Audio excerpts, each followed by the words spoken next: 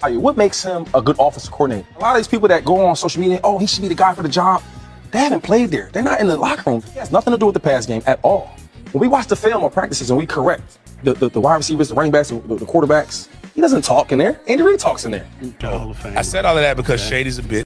Eric Bieniemy handled this in the most classy manner in which you can possibly handle something, um, because we all knew that the question was going to be asked. Everybody's entitled to their own position, to their own uh, comments and how they feel. When it's all said and done with, I think that's all I have to say because he's entitled to his own opinion.